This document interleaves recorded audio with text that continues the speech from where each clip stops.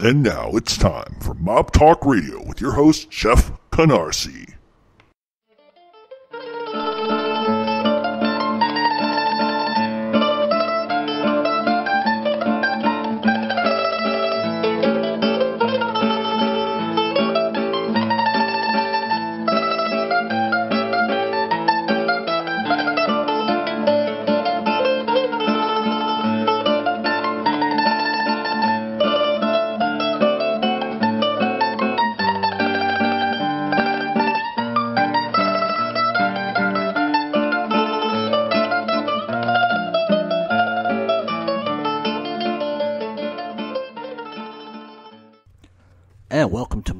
Radio. I am your host, Jeff Canarsie. So, where have I been? It's been a long time, uh, a couple months anyhow. Uh, for those that know, those that don't, I, I really don't want to go into the details about why I, I, sort of was off the air because I think it's been fairly well documented at this point. Uh, but I got the green light uh, from my Bulldog attorney, so uh, we're back doing the show and there's going to be a lot of changes uh, in the format of the show that are going to come down the line. But for now, coming out of the gate, we're going to do a couple of shows. Uh, eventually, we're going to move over to like a live call-in kind of deal. Uh, which I'm sure is going to be absolutely aggravating to no end. Uh, but we're also going to add videos and, and, stuff like that. So, so some things are going to change, but you can always expect kind of the same thing here. So we got a lot of stuff to cover, like before we get into the show. And the show today is about Roy DeMeo and the DeMeo crew. There's a couple other things I wanted to talk about first. The the, the first thing, really, honestly, is uh, the the John Gotti movie that is coming out. I believe December 15th 15th. I, I might get the day wrong there, but I, I believe that's the way it is on the 15th. Uh, from what I understand, uh, the editing's done, the film score is done, so I would expect a trailer to probably come out in the next couple of weeks. Especially, you got to get out ahead of the storm a little bit and, and uh, give yourself some, um, you know, some viewing capabilities before the movie comes out. Also, there is a Gotti family documentary that was filmed by A and E, which I believe is done. Uh, they may be adding a couple more things. The original release date for that was in November, but I believe they're pushing that back as well, and, and that's going to be an important watch uh, for any mob genre uh, fan, or even if you're an author or a, a uh, or or somebody that's going to do podcasting, it's going to be an all access, no holds barred kind of thing. It's going to be unlike any documentary you have ever seen on the Gotti family. So if you're looking to kind of get past the uh, the press headlines in the New York Post and, and sort of kind of catch a glimpse of what the family dynamic is, this is definitely going to be the project that you're going to want to watch. Like I said, I don't have a date for that, uh, but I know it got pushed back from November. So, you know, everything's sort of kind of comes together in the end, especially when you're packaging or you're branding something uh, like a huge film. Uh, they, they, they try to package everything kind of together in a short span of time. Maybe it'll be after the film is released. Who knows? But you're definitely going to want to check that out. Also, I, I want to preface this by saying this first. Uh, William DeMeo uh, is in no way, shape, or form related to Roy DeMeo. It's just similar last name. But I wanted to kind of talk about just for a second. Uh, he's working on a TV show called uh, The Neighborhood, uh, which he's directing, acting in. Uh, and everything else. Uh, if you don't know who he is, check him out on Facebook, William DeMeo. He also plays Sammy the Bull Gravano in the Gotti movie. incredibly gifted actor. Uh, all around nice guy, from what I understand. I've never met him personally, but he is shooting a mob uh, drama in Bensonhurst, which sort of circulates around the 1980s ma- mafia and, and, what it was like in Brooklyn in the 80s. So, if you're nostalgic in any kind of way, you definitely want to check out his project. Uh, you can go on Facebook and check him out. I believe he's on Twitter and everything else. So, where are we with the mafia today? Uh, I could talk about Canada for hours. I could talk about a lot of things, but I just wanted to give a quick update on Philly for the listeners who aren't following us over on our blog, which you can catch me on Twitter at Real Mob Talk 7. Uh, you can go into Facebook and uh, type in Mob Talk Radio, uh, and that'll pull up our Facebook page as well as it'll pull up our blog, which is Mob Talk Radio True Crime true crime blog, uh, where we have in-depth articles and uh, stuff like that. But in Philadelphia, it's pretty much the same. Looks like Joey Merlino is going to definitely walk from these charges. The crux of the issue really has become the mob rat John Rubio. Uh, the argument is how did he make the tapes? Why weren't the tapes handed in in a timely manner? Uh, why was it that the audio device that the FBI gave John Rubio? How come there are whole snippets of conversations and videos that have been deleted? So at the end of the day, that's probably going to be the thing that allows Joey Merlino to walk. So that's where we kind of stand on Philadelphia. It, the numbers are getting big there. Uh, there is definitely a resurgence in Philadelphia. So it, just keep keep your eye on Philly because I think that that's that's a really good gauge for I think how things are going. Uh, but you can check out our blog for all that information and, and go online and, and, look that up for yourself. I don't want to get into a whole diatribe on Philadelphia today, but it looks like uh, Joey Merlino is definitely, definitely going to walk. So here's what we're going to do we're going to take a short break. When we come back, we are going to talk about the Roy DeMeo crew. Now, the one thing I'm not going to do, excuse me, is I'm not going to go tit for tat, name everybody from the crew, and do a whole biographical sort of thing on them. I, it's going to take too much time to do that, and I kind of like to get everybody in the classroom, teach what I got to teach, and let them get out and enjoy their day. So that's what we're going to try to do today. So if I miss something, or maybe I don't talk specifically about one member of the crew over the other, don't take it personally. It's just that we're allowed so much time here, and I think really, when you're talking about the DeMeo crew, there, there's a couple of things that come into to play in that, and I think Roy DeMeo really is probably the main guy we have to talk about. But just to appease those that are going to complain, because I always get complainers, death threats, and the usual, just just to, just suffice to suffice them. I will talk about Anthony Senter because I do know Anthony Senter, at least I did for a long time. Uh, that didn't that friendship or whatever you want to call it didn't exactly end on the nicest terms. Uh, it was a little scary. Maybe I'll maybe I'll go into kind of what happened with him and myself, along with Angela Clemente. There was there was a bunch of people involved in it. So stick right here. We'll be right back, and we'll get to Roy DeMeo and the Roy DeMeo crew.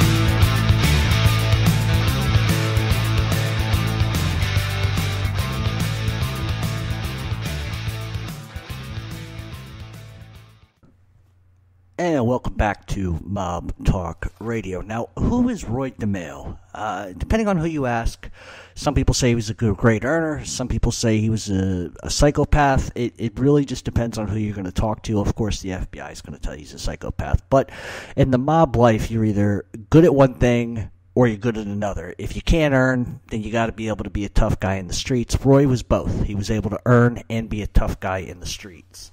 So, who exactly was in the Roy DeMeo crew? Uh, obviously, uh, Nino Gaggi oversaw the Roy DeMeo crew. There was Roy DeMeo, Joseph Guglielmo, Chris Rosenberg, Anthony Senter, Joey Testa, Edward Grillo, Dirty Henry Borelli, Richard DiNome and Freddie DiNome, Dominick Montiglio, Vito Arena, and Robert Center. Now, Robert Center was Anthony's uncle. And what makes sort of his story kind of strange is he was directly responsible for the killing and the murder of Carlo Gambino's uh, nephew, Manny Gambino. Uh, he essentially was partners with Jimmy McBratney, and he and McBratney essentially kidnapped Manny Gambino, held him for ransom, then murdered him. So we all know kind of how that story goes, and I, I really don't want to get into all of that. But it's just kind of strange that they allowed this guy to hang around, especially after he was sort of accused and convi- ultimately, at the end of the day, convicted for that type of stuff. So, when exactly did Roy DeMeo uh, get on the scene? Uh, Roy DeMeo was born in 1942 in uh, Bath Beach, Brooklyn. Uh, as a youth, he was picked on a whole lot, and he ended up uh, using lunch money to effectively become a loan shark, and he became so good at that by 17 it was a full time job. uh, between that and his auto theft business, uh, loan sharking, it, it, ended up catching the attention of Nino Gaggi at the time. And through Gaggi, uh, Gaggi kind of realized that, that DeMeo had some earning capabilities and, and he was willing to be violent. And so he brought Roy kind of into the family uh, to work directly for Nino Gaggi and the Gambinos. In 1966, Roy DeMeo bumps into Chris Rosenberg, who at the time was selling drugs uh, out of a gas station, and he was like a small time car thief. So Roy was kind of attracted to him in the sense that he saw this potential in this kid to be able to, to make some money with him. Uh, so what Roy ends up doing with Chris is he ends up loan sharking money to Chris so that Chris can buy larger amounts of drugs, and in return he would get some protection and a cut of the profits. So if you look at it in terms of was it a smart move for him? I think ultimately at the end of the day, it was, probably one of the worst mistakes Roy made. But at the time, you know, here's this guy, he's selling, he's moving a little weight on the corner. Let me loan him some money. He's going to pay me back to VIG every week. Plus, I'm going to get a cut of the profits. It just kind of made sense for him to go ahead and do that. But eventually, uh, Chris's drug profits enabled Chris to open up a somewhat semi chop shop called Carphobia Repairs. Uh, and he ended up recruiting Anthony Senter and Joey Testa, who he kind of grew up in the neighborhood with in Canarsie. So that's how Joey and Anthony were kind of brought into this through Chris. Uh, DeMeo ultimately, as he started to make a little bit of money here and there, he ended up joining a bank called the Borough of Brooklyn Credit Union. And what he did was he used his power to gain a position on the board of directors. And then what he began to do was sort of pilfer money to launder through illegal businesses. And he would also go to other drug dealers and, and have them uh, launder illegal profits through the bank and stuff like that. So uh, at the end of the day, you know, being a, uh, on the board of directors of a bank really enabled Roy access to a lot of funds and it allowed him access to sort of reach out to other people in the community that were doing not so many good things to uh, come in and, and funnel their money that way. Uh, he would also use the bank's money to build up his loan sharking business. So when people would come and ask for an insane amount of money, rather than pull out of his pocket, he would just simply pull out of the bank. Uh, like I said, he would bank drug dealers, uh, front money, and, and, stuff like that for, for high interest rates. So it was really, really, when you think about it, I mean, from from a perspective, and I'm not arguing morality here, but from the perspective of being highly intelligent, uh, that that's a pretty that's a pretty decisive move for a guy like that. Uh, in 1974, there was sort of a conflict. Roy had uh, his, his car theft business was slowly going, and Anthony Senter, by all accounts, from age, uh, I think before he was 14 years old, he had been arrested something like 15 times for auto theft, and that was Anthony Senter's real calling was auto theft. He was very good at it. Uh, he was able to teach the other guys how to steal cars. And so when they started stealing the cars, they would bring them to the chop shops and, and they would sell parts and stuff like that. But there kind of was a problem. Roy had a, a silent partner named Andre Katz. And Katz's essential job was to help move the auto parts to, to other countries and to other people who were looking for stuff. But the problem was is that Andre Katz seemed to believe that Roy DeMeo was sort of cutting him out of profits. So in 1975, Roy DeMeo had enough, uh, and he started to get whispers from the police that Katz had gone to the police and started feeding them information. And so DeMeo, doing what DeMeo does, uh, had him kidnapped, murdered, and dismembered. Now, he was supposedly the first victim of the DeMeo crew. Uh, as far as whether they use the Gemini method, and we'll get into the Gemini method here shortly later, but uh, he was really the first guy the DeMeo crew whacked, and, and, and, it had more to do with money than anything, plus the fact that this guy was sort of snitching on everybody. So, you know, Roy did what he had to do. Um, Joey Testa and Henry Borelli eventually would get arrested for the murder of Andre Katz, but they would eventually get acquitted. Uh, then in 1975, uh, Roy became a silent partner in a peep show and uh, prostitution establishment in New Jersey. Uh, what DeMeo essentially was doing was he was taking bootleg pornography and uh, selling it all over the place, mainly in New Jersey, New York, and Rhode Island. But the thing that really caused a problem with him and Nino at that time because there would be more problems to come in the end. But what really caused a problem at the time was Nino looked at that as like lowbrow shit. He didn't want anybody dealing pornography. It was a dirty business. Uh, and, and he essentially told Roy, knock off the pornography shit. or I'm going to kill you. That's the end of the that's the bottom line here is you continue to do this, you continue to sell drugs, you continue to deal in pornography, you will be killed. And you know, Roy being Roy ignored it and said, "Yeah, whatever." And and really, at the end of the day, it, it really became uh, Nino didn't like it, but he didn't mind taking the the profits from it either. So Roy kind of continued to uh, keep doing what he was doing. Uh, but that's just kind of the nature of the business. I think we've seen this a million times, and, and I could get into the, and we will get into it in this show uh, as far as the selling of the drugs and, and the unwritten rule that really wasn't an unwritten rule as long as as long as the profits were good. So in 19, as 1975 starts to close, the IRS uh, goes after Roy DeMeo, and they try to indict him, uh, and he ends up sort of getting away from that charge, uh, and he business at the time for Roy was going really well, so he ended up uh, adding a car business to his growing legal enterprises, which was called Team Auto Wholesalers, which they also used uh, as a chop shop and, and stuff like that. Uh, he would also add Danny Grillo to the mix and Matty Rega to his growing crew. So, along the way, as he's building his illegal enterprises and legitimate enterprises, he begins to recruit more and more people to the crew. In 1976, Carlo Gambino dies and Paul Castellano takes over. This was an up and up for Roy. Uh, Roy was trying to get made, but Castellano kind of thumbed his finger at street guys. He never liked street guys, and the record speaks for itself that, that Paul was never a street guy uh, himself. Paul didn't like doing dirty work. Paul looked at himself as like a, a businessman, and so he looked down on everybody that was a street level guy. So essentially, when Paul Castellano takes over, it was good for Roy because Nino Gaggi would all of a sudden be up to a captain, and he would take over Paul's old crew, which means he would oversee the DeMeo crew as well.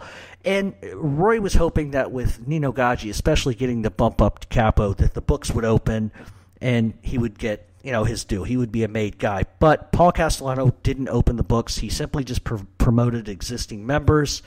Uh, and, and, like I said, Castellano was opposed to making DeMeo for a couple of reasons. One, he was afraid of DeMeo. He felt like DeMeo was uncontrollable and he was a street level nobody.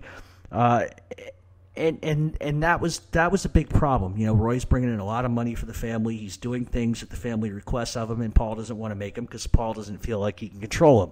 So what DeMeo needed was a plan, and simply what his plan was was he figured, you know what, I can murder, I can make money, but if I'm making a truckload of money or a fuckload of money, as I like to say, then Paul may not have any other choice but to make them. So what DeMeo does is he goes out and visits the Westies if you're not familiar with the Westies, you can look it up, but they're basically uh, Irish gangsters from Hell's Kitchen Jimmy Coonan, Mickey Featherstone, Mickey Spillane. You can look all that information up for yourself. Uh, but after after Mickey Spillane uh, was was killed by Jimmy Coonan, Roy DeMeo sort of approaches them and, and kind of gets a feeling on where they stand on things. And Roy thinks, you know, if we can control them, bring them into the family, not only is it good for business, but it's good for money and he takes it to Nino and he talks Nino into saying, you know, listen, this might be a good idea. Let's let's let's talk to Paul and, and see if Paul will go along with this with this idea. We can use them for murder. We can get a kickback from their drug rackets or their gun sales,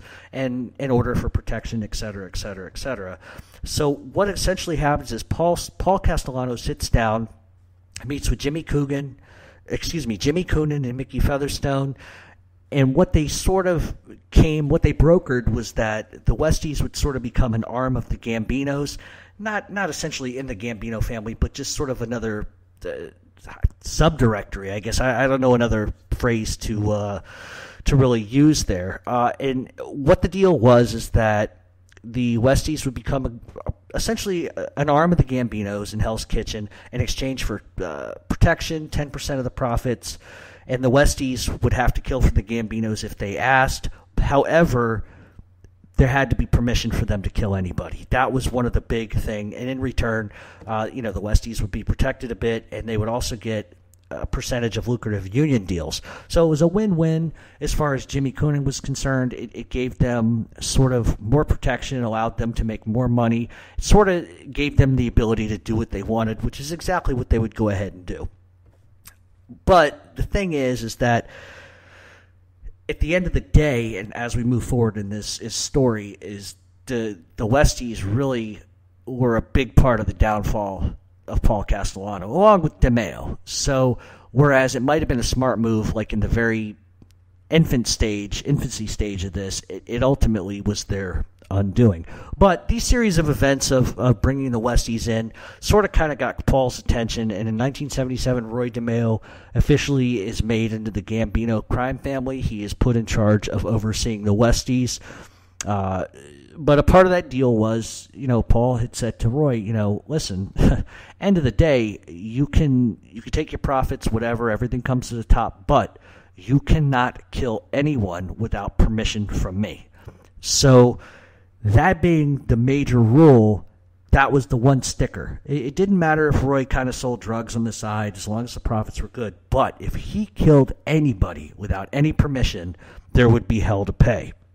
And essentially, um, Roy ignored every single thing that Paul Castellano said. Uh, Paul Castellano has a history of saying no drug dealing. Anybody who drug deals in this family, they die. It goes back to Carlo Gambino. But what a lot of people don't realize, and what a lot of mob experts don't tell you, is that Carlo Gambino had two cousins that worked out of Cherry Hill, New Jersey, who were selling heroin. They had their own small little Sicilian crew there selling drugs. Paul Castellano, when uh, after Gambino died, Paul Castellano put even more guys in New Jersey to sell drugs. So the idea, the very idea that Paul Castellano was against drugs is bullshit.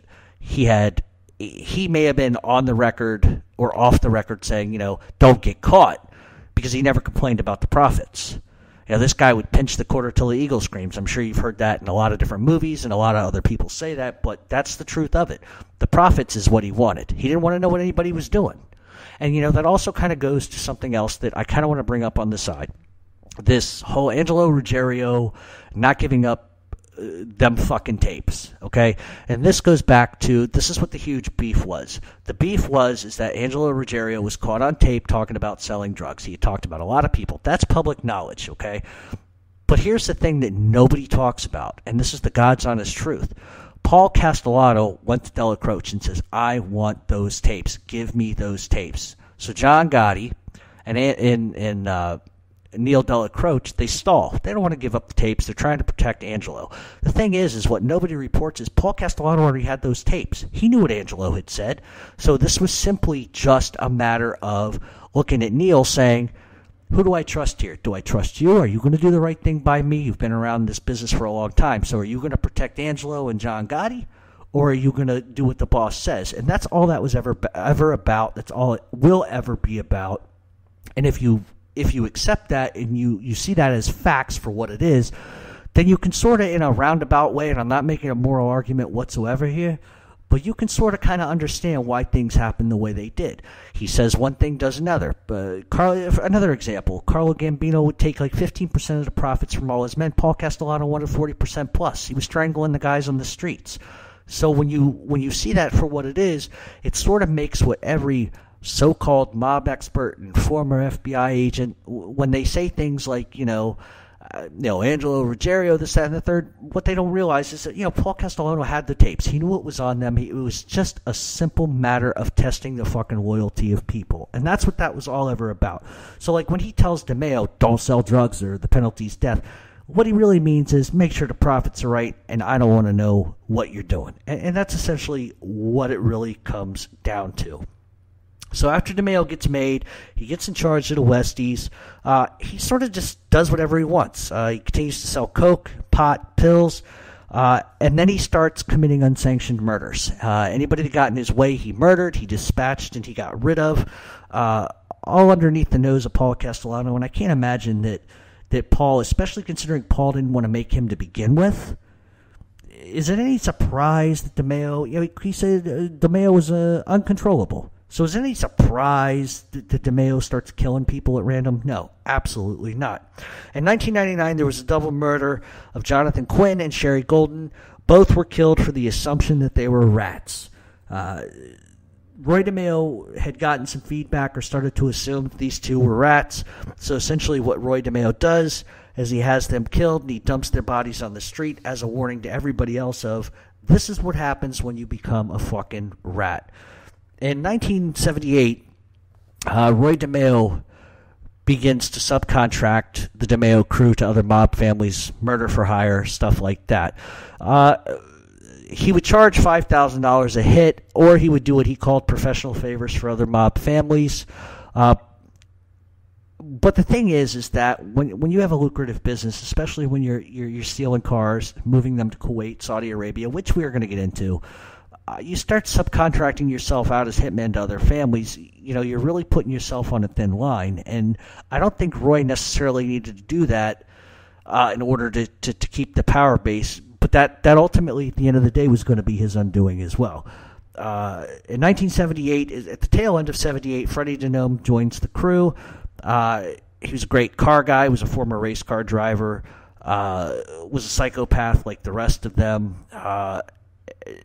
But also, right after Freddie DiNome joins the crew, uh, they kill Danny Grillo. And the reason why Danny Grillo was killed was because he was in debt to Roy. He had been borrowing money uh, from Roy to, to, to buy drugs and sell drugs, and he essentially stopped paying Roy. He wasn't paying Roy the VIG every week. Roy got tired of it. So the crew started feeling like, you know, he's not going to pay the money that's owed. So what we're essentially going to do here is we're going to get rid of him, and that's uh, pretty much exactly what they did. Uh, now, as far as the Gemini method, we're going to talk about the Gemini method for just a second, and then we're going to take a short break. Uh, the Gemini method, unfortunately, is pretty infamous. Uh, in case you don't know, in Canarsie, there was a bar called the Gemini Lounge, which is where Roy DeMeo worked out of. That's also where they killed a lot of people. And essentially, the Gemini method was that a victim would be ushered in through the door and he would be shot with a silenced gun. A towel was then wrapped around the wound.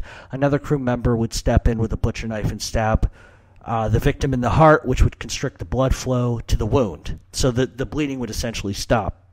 Then the body would be stripped and dragged into the bathroom, hung upside down, and the blood would essentially drain from the body into the tub drain. Uh, then they would lay out a giant plastic tarp and dismember the body, and then the parts would be placed in other bags, and they would start dropping uh, body parts off, usually at the Fountain Avenue dump, which was owned by the Center family. So that's the Gemini method. Uh, everybody was involved in it it's a little creepy. I can imagine that that place, which is still standing, it's no longer the Gemini Lounge, obviously, but uh, I, bet you that place has got some some nasty, haunting stuff going on in there. Um, so essentially, at this point, the DeMeo crew is murdering, uh, murder for hire, selling drugs, they're also stealing a ton of cars from New York City. And what they're essentially doing is they're chopping up the cars, in some cases, and selling them for parts.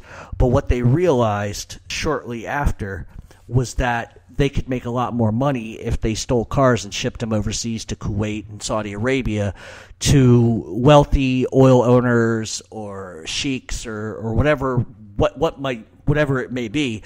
Uh, and they're getting a ton of money for these cars. Uh, so what began as a simple one or two cars, uh, sending them overseas a month became like three and four hundred cars overseas a month, and it was very, very, very profitable. And and to this day, I don't understand why they just didn't.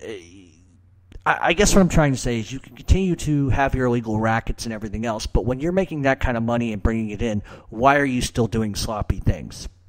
So, eh, you know, it just it's like the old saying, and I, I, say this a lot, like especially when somebody you know will bring up somebody like Pablo Escobar to me. Not that that has anything to do with this, but how much is enough? You know, you you have fourteen billion dollars. That's not enough. I mean, I, I would think fuck, five million would be enough for me. It's just the greed and the power. And what ends up happening nine times out of ten when you read these stories, and it's in every mob book you could ever read, every mob movie Guy has a lot of rackets going, everything's great, and he gets sloppy. And in the case of Roy DeMeo, he went from possibly maybe murdering as, as a reaction of business to really murdering because he enjoyed it. And there's been a lot of mob guys that have been like that. Tommy Pitera, murderer. I mean, my God, uh, like a lot of people say this guy, Tommy Pitera, was more of a serial killer than a mob guy. I'm not going to, I don't know if I agree or disagree with that statement, but when it goes from business to pleasure, there's a problem. Now, we're going to take a short break. When we come back, Roy DeMeo is going to start having major problems.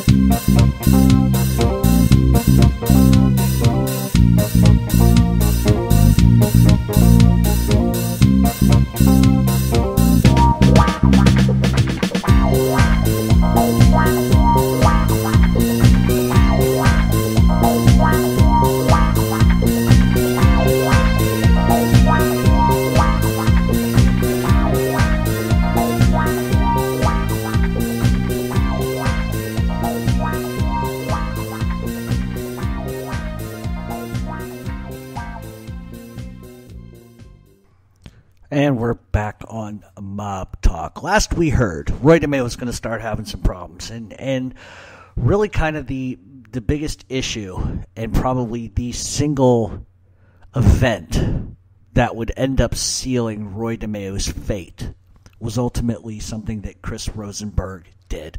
Uh, Chris Rosenberg obviously uh, was calling himself Chris DeMeo in a lot of circles, and it was creating problems because anything that he did that was sloppy came back to Roy, got back to Nino, got back to Paul, and it became a problem.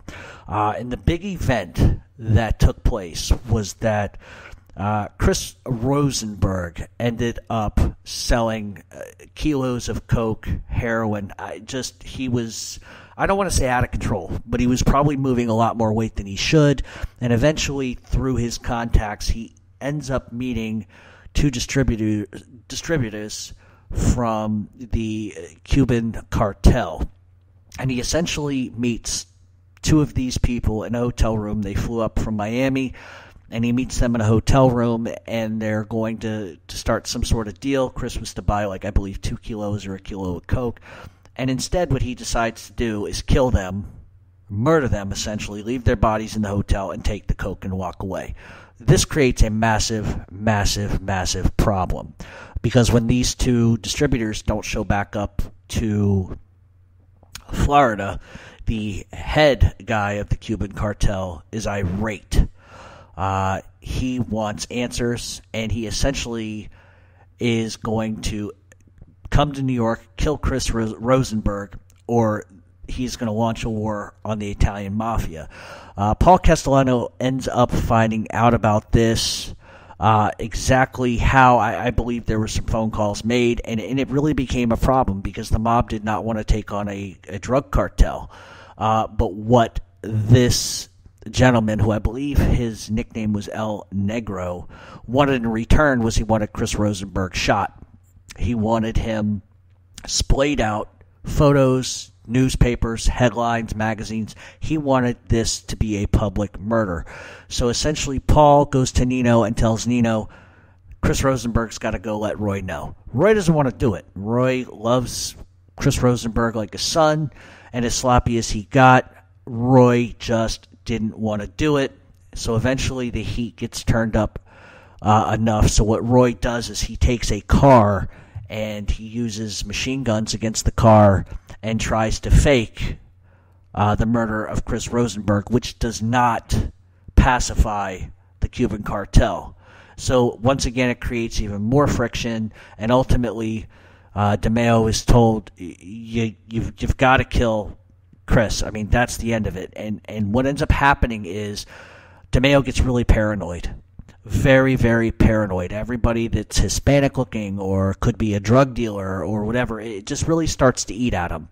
And in his neighborhood, there was a young Hispanic man who was going door to door, uh, raising money for college tuition and etc.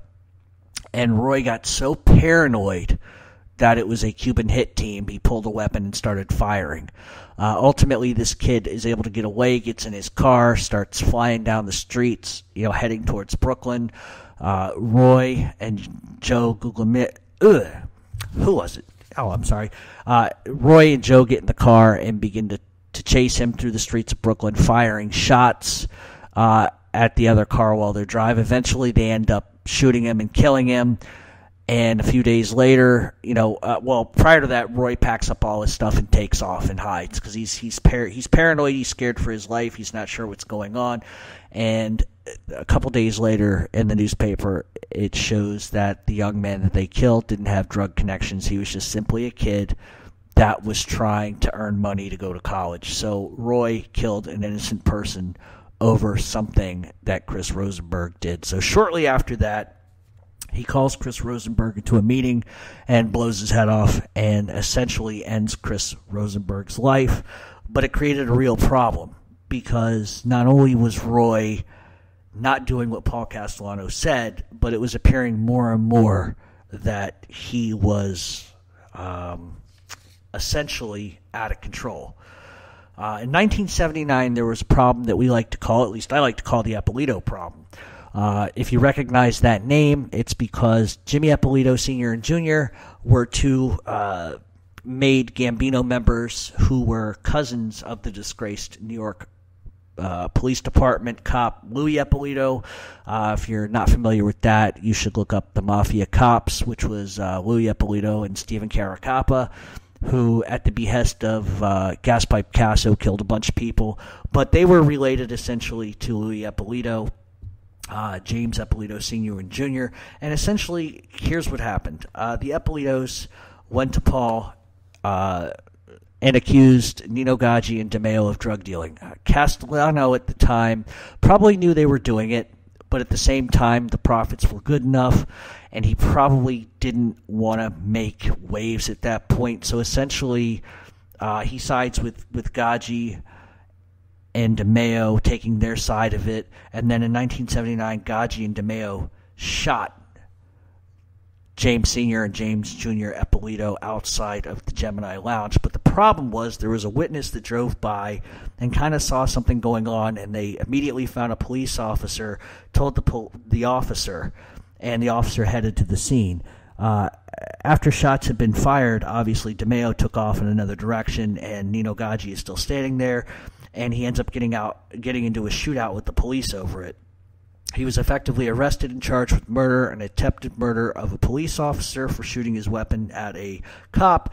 But DeMeo wasn't about to let Nino take the fall for anything, so DeMeo ended up finding the witness, killing the witness, and ended up bribing the jury. And Nino Gaggi, as a result, was conv- convicted only of assault and re- given a 5 to 15 year sentence.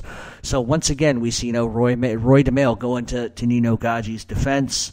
Uh, but I don't think it was so much protecting Nino so much as it was protecting himself.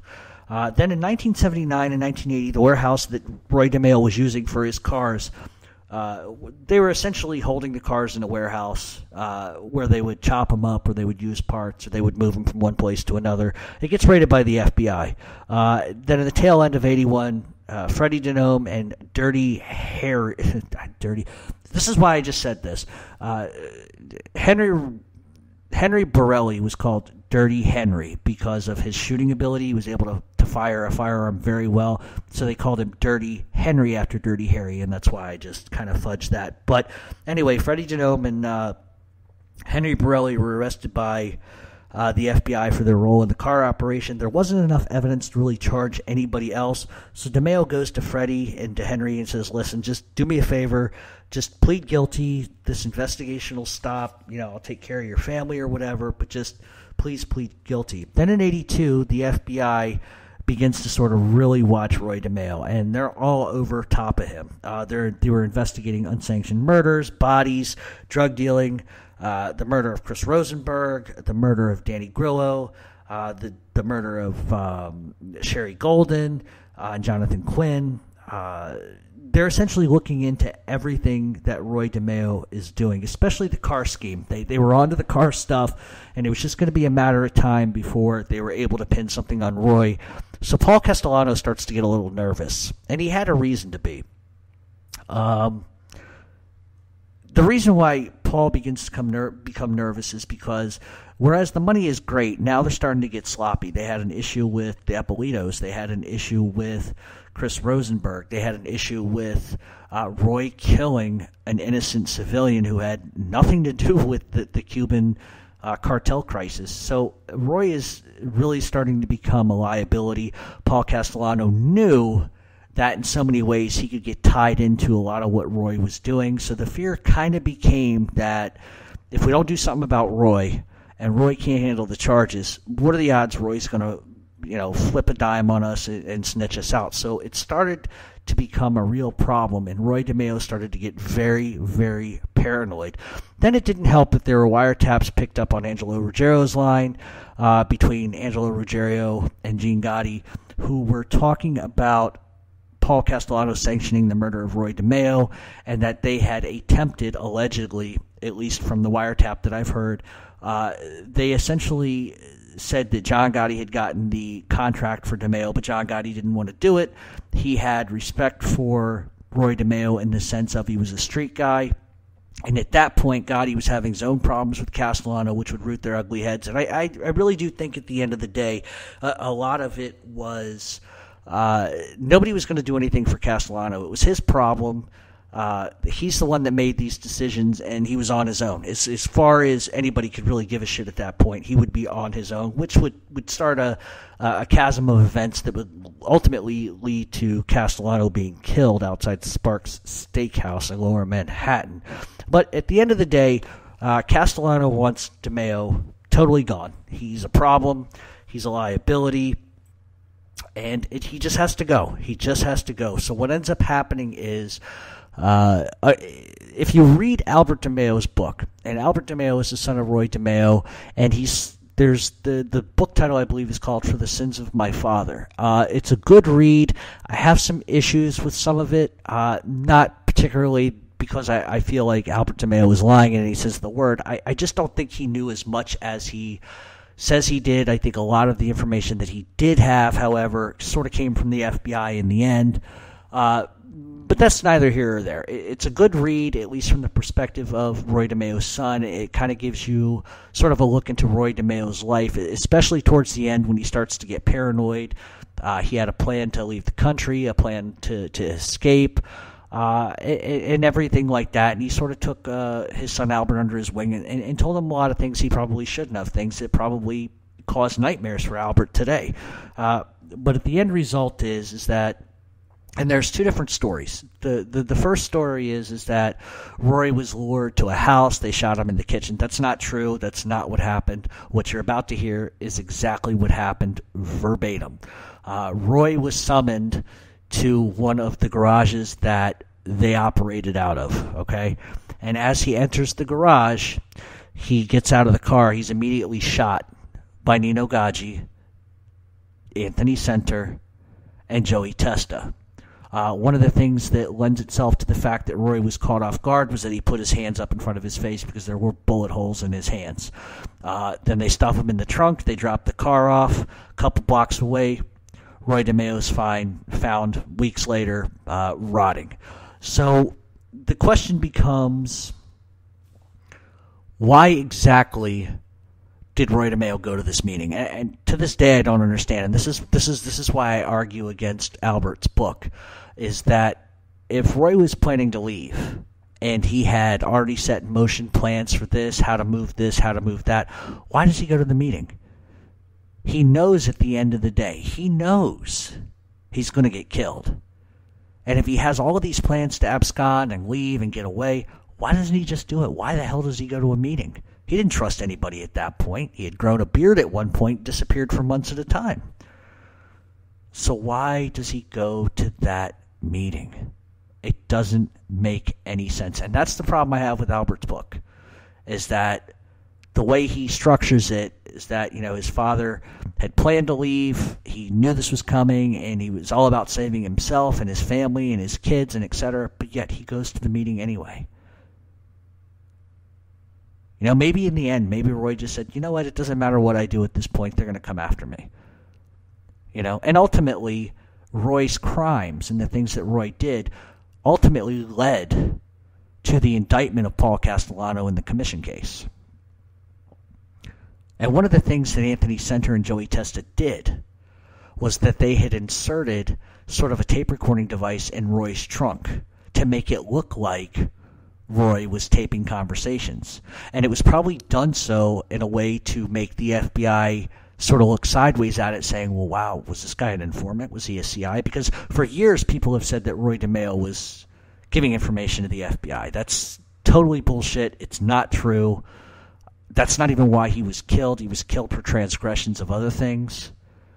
But ultimately, it wasn't just Roy DeMeo that got Paul Castellano caught up. It got it got Paul caught up in the commission case, but then ultimately Dominick Montiglio would flip, and you know Nino Gaggi goes to jail for the rest of his life. Paul gets indicted for more stuff, but it was Paul's decision that I bet you he regretted to the last seconds of his life, because if DeMeo doesn't get reckless at any point, if he just stays on point, keeps his rackets going, doesn't get too far into the wind, this doesn't become a problem. But not only does Roy make pinhead decisions about who he brings around. Because it's like a, it's almost like a, a domino effect. You know, you got Roy. Okay, so Chris is going to screw up. Then Roy's going to screw up. Then Roy's really going to screw up. And so it, it creates an event or a set of circumstances Roy can't avoid. And maybe that's maybe that's at the end of the day why he why he went to the meeting. He justified that you know what this is it. This is what's going to happen to me. So be it. And one of the things that happens after Roy is found dead is that Anthony Senter, at least according to Albert DeMeo, Anthony Senter and Joey Testa tried to kill Albert DeMeo for Roy's book. They wanted they wanted Roy's Shylock book. They wanted all the customer names. Now, whether or not that's true, I'm not really sure. But I think there is one thing that definitely proves that that could be a stretch.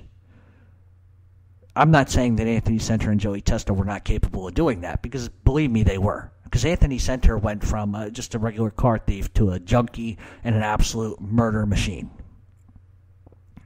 But at the end of the day, what lends itself to that being sort of a stretch at least from two perspectives. Let's take the first one. After Nino Gaggi goes away, Castellano, we know what happens with him. Senter and Testa sort of go and start doing hits for, for Gaspipe Casso. They sort of attach themselves to Lucchese crime family. So it's not a stretch to believe that Casso didn't say to them, hey, I want that book. We want to take over his Shylock. But I would think that the Gambinos would have a problem with that because that was that was Gambino business, not Lucchese business. So that's the first thing that kind of makes me say, uh, I'm not sure about that. The second one is nobody in the Gambino family would allow Anthony Senter and Joey Testa, who were not made guys, they were associates, to go after Roy DeMeo's son. So the next question is, why would they have gone after Albert to begin with? Well, the problem was Albert knew a lot. He knew all his father's loan shark customers. He knew what people owed you know, and, and I'm sure that to, to some extent Albert wanted revenge. He certainly didn't like Anthony Senter. He's made that well known his entire life. But I just have a hard time believing that the Gambinos would allow Anthony Senter and Joey Testa, who were unmade guys, just associates, to, to, to even go after a kid like that. But apparently, as the story goes, they ran him off the road. His car went into a ravine, et cetera, et cetera, et cetera. Uh, apparently, he took some threats from Anthony Senter as well. So that's kind of the story of Roy DeMeo. You know, it's sort of this uh, meteoric rise from being a, a, a, child that was bullied because he was overweight to taking what he knew how to do, which was be tough, turn a profit, turn it into a racket, have a bunch of illegal rackets, climb the mob ladder, but then get sloppy. Gets sloppy. Now, you notice there is one name I did not mention throughout this whole entire thing, and someone's invariably going to bring it up to me and that's Richard Kuklinski. And the reason why people like to bring that up is because for some fucking reason, Richard Kuklinski is attached to Roy DeMeo like the plague, like a scab. So let me make this very clear. Richard Kuklinski was not a mob guy. Richard Kuklinski did not work for Roy DeMeo. Richard Kuklinski did not do mob hits for mob families. Richard Kuklinski was a fucking serial killer who had an imagination like Santa Claus. This guy not only failed every polygraph he ever took, but even the FBI said they couldn't believe a word. They believed he had hundreds of victims. Yeah, that's fine, here or there. This is a guy who got into business with the fucking ice cream guy and was killing people for fun. He put a guy in a cave, tied him down, and let the rats eat him alive and videotape it. That's not a mob hit. That's just some sick, sinister shit. That's some Jeffrey Dahmer type of shit. There is zero proof Richard Kuklinski ever had any. Name one mob guy Richard Kuklinski killed. Name one mob guy. Can't do it, can you? Maybe there's one, and that's an iffy thing. But that was over a personal beef that had nothing to do with mob business. That had to do with somebody owed money. And that's why Richard Kuklinski shotgunned the motherfucker. But Richard Kuklinski had nothing to do with the mob, nothing to do with anybody. He even inserted himself in, in, in, in the Nick Scabetta hit or, or the DB hit with Sammy Gravano. It's all bullshit. Nobody's ever heard of Richard Kuklinski outside of New Jersey. The FBI doesn't buy anything he said. So stop inserting Richard Kuklinski into the mafia. He also, hey, listen, if you listen to this prick long enough, he'll tell you where Jimmy Hoffa's buried. Because he, he was in on that too. Uh, you do the dates, they, they just don't match up. They don't match up. All right, so, and final, and I am going to tell a story. I decided I'm going to tell it. I may go over my time limit. I just want to thank everybody for actually listening to the show. I don't say that enough. I want to say hello to Deary. She knows who she is. Uh, and a bunch of other people know who they are. My attorney, the bulldog, and Deary, of course. I said that twice, but so how do I know Anthony Senter? And I'm going to try to keep this as short as possible. Uh, I met Anthony Senter never personally. So because I know there's going to be people that are coming. How did you meet him? He's been in prison since '89. Whatever. How do you know? How do you know him? I met him, strangely enough, through somebody else that didn't even have anything to do with him. I was doing legal paperwork for a guy named Keith Mawuli Benjamin who was convicted in the 70s of killing a cop, and, and I was working on his case file for him. Uh, just as a hobby or whatever. Uh, and through him, I met Anthony Senter. I guess they got to talking. He said, Hey, I know this guy. You know, he's doing a lot of legal work for me. He's really helping me out. Turns out the guy, Keith Benjamin, who was wrongly convicted, and, and I don't say that like tongue in cheek, he really was. He really was wrongly convicted. And thank God he got out of prison. He had he had a life sentence and I helped get him out. That's one of the biggest highlights of my life is being able to help somebody to the point where a court will actually open up the case and say, wait a minute, something's fucking rotten here. And he got out and he went back home and his life is great. And that's like really one of the highlights of my life. But anyhow, through him, I met Anthony Senter. You know, we exchanged a couple of letters here and there. This is who I know. This is who I know. At the time, I was also uh, friendly with Carmine Persico. So that's noted. So, you know, my name kind of got tossed around a lot of prison guys, and it seemed like it was all mob guys and some other people too that I knew. But uh, the end of it is, is that I sort of got involved with Anthony, helping him on his case and stuff like that. Uh, and through him, I met Angela Clemente, who is renowned for exposing the Greg Scarpa files with the FBI. Uh, which sort of kind of leads into why I had issues with the FBI and Jerry Capeci to begin with. But I don't want to tell that whole story. But the end of it is, Anthony and I were very, very friendly uh, for years, uh, and I was working on stuff with him. It's not that I thought he was wrongly convicted. There was just some some stuff that was from the FBI's perspective a little off. So yeah, I was willing to help the guy. He seemed pretty nice. Uh, but then something kind of happened I noticed with some of these guys, and it's not all, because believe me, I never had a terse word with Carmine Persico in my life. My God, you know.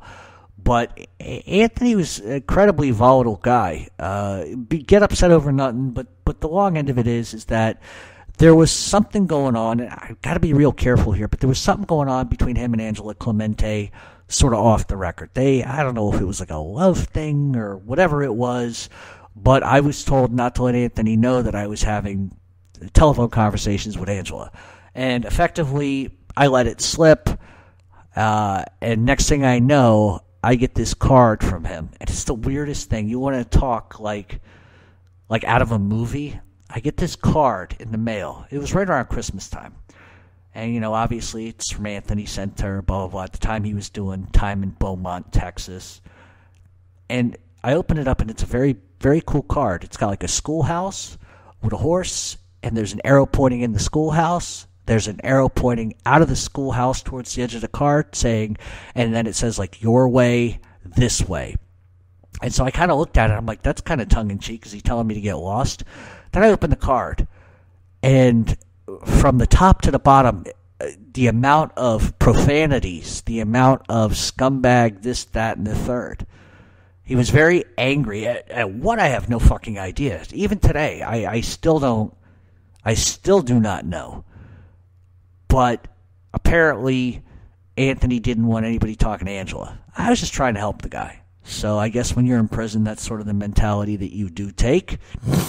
Uh, he's the only one I ever had that problem with. Uh, there are some other ones that are more, you know, Anthony's from that cloth that the mafia doesn't exist The mafia doesn't exist. Don't even say that word. Don't even say this word. Don't even say that word. And so ultimately, I think what led to my uh, how do I want to say this? What led to my interaction with the FBI was that it was through Anthony Senter, Angela Clemente, Carmine Persico. I guess my name just started getting filtered, and then there was the stuff with Capeci. So that probably makes all sense. I've spent years trying to figure this out. But that's how I knew Anthony Senter. And he was uh, a decent guy, I guess. He wasn't really book smart. Uh, but he was I got to give him credit. I mean, he's cut from an old cloth. The mob doesn't exist. There's no such thing. Don't put that word in your mouth.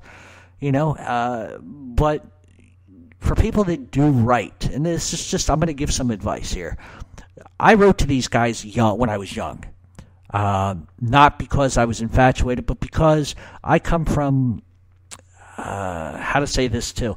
I, I come from a certain area, a certain place in my life where I'm connected with people. People know me. I know them. Related to people. All of that being said, so I kind of get a shoe in with people because people know who I was related to, and et cetera, et cetera. So it gives me sort of an end that a lot of people don't have. Uh, and I would just ask questions. I would like to pick their brains because even if you morally disagree with what a lot of these guys do, you have to admit there's a lot of sophistication. They're highly intelligent people. So I like to pick people's brains about history and I like to pick people's brains about their intelligence, like what makes them do this or, or makes them do that. You know, so it's never a, hey, can I have your autograph so I can slam it on my wall type of stuff. It was always very personal stories uh, and, and picking brains. That's all it was about. So if you're going to go down that road and you're going to write to these guys, I'm going to give you a warning straight up because this is reality don't tell people personal stories. Don't tell people personal information. If you're interested in one certain thing, ask them. Just be blunt about it. But you have to understand it's a give and a, it's a give and it's a take. You know, if you're asking for something, they're going to want something back from you, be it dumping money into their canteen or, or sending them magazines if they ask or whatever. So just know that ahead of time. It's not as easy simple as just, hey, I'm going to write this guy, he's going to write me back, and everything's going to be beautiful. That's not how it works. You know? So if, if you're going to get involved in this genre at all, and you, you think that it's a good decision, think it through, send them a letter and see what you can get. But they're not going to tell you anything. You're not going to get anything of substance. You never will, especially from the old time guys. They're just they're just not going to do that. They're cut from a different cloth. And by all means, don't don't don't consider them friends. You don't know these people. They're they're in jail. One of the things that really I think bites at me about people that do this is they do it and then they get creeped out or scared and they read in between the lines. You know, everybody thought I was crazy. My whole family thought I was crazy. My grandfather, my what the fuck are you doing, writing this guy? What are you What are you hoping to get? Nothing. I just was interested in, in how their brain worked. I was interested in and who they were as a person outside of headlines. And that's that's the last thing I'm going to hit on. And I'm going to get the fuck out of here. You can pick somebody's brain for so long. but the one thing you have to do, if you're even going to go this direction, just get to the point. Know what you want to know and let it go. I really, you know what? I just got lost in my own fucking thoughts. I really thought I was going somewhere with that, but apparently I'm not. I'm hoping it comes back to me here in the next 20 seconds. Huh. I don't think it's going to. Congratulations, I've had a brain fart today. But listen, it's, it's been a good show, and I apologize if we didn't get, if I sort of raced through stuff. It's my first show back. Cut me some fucking slack. I need a little fucking slack over here today. So we're going to come back next week with Gaspipe. He's, uh, you know, I have a joke with with the, with a friend of mine on Facebook about this. Is we like to make fun of Nicky Scarfo all the time because he's just so fucking batshit crazy, and he did hilarious things. I mean, they're gruesome shit. Don't get me wrong, but it's hilarious in an uncomfortable way. You know, especially like when Nicky Scarfo is riding a horse and the horse goes off the course and runs into a tree. Nicky gets so fucking irate that he has the horse taken up to a cliff and he pushes the horse off the cliff because the horse did it intentionally. You know, stuff like that I like to laugh at but it's like stuff Gaspipe says I like to laugh at. And I think it's because some of the shit that Gaspipe has said and will continue to say behind the wall is pretty it's pretty epic and it's it's funny. The guy's a psychopath. Don't get me wrong in any stretch of the imagination here. But I, I sort of laugh at some of the stuff because there there are there are guys that are quiet, and then there are guys that are like outrageously loud and crazy at the same time, and that's kind of the stuff that uh, that's kind of the stuff I'm into. I don't know. And Nicky Scarfo cracks me up. He always has. Anyway, so that's the show. We're gonna come back next week with Gaspipe Casso. Uh, feel free to send all your threats, your hatred, your slander, your libel, your name calling, because that's what I get. Send it all to Real Mob Talk 7, and that's on Twitter. Or you can assault me verbally on Facebook, or you can assault me verbally on Google Plus. Because it's amazing. You guys always figure out how the fuck to get a hold of me and, and, and just say the right thing. So anyway, I want everybody to have a good weekend and uh, keep coming back. The shows are going to get better. I do have some guests coming up on future shows here shortly. So just keep on reeling it in, dialing it in with me, and uh, I'll continue to give you the truth as I always do. Remember, you're not going to get nothing but the truth here. Uh, and, oh, and we're also going to do some historical shows as well because a lot of people like mob history, so we'll get into that too. So thanks a lot for listening in. Have a good weekend, and uh, don't forget to look over your shoulders when you walk.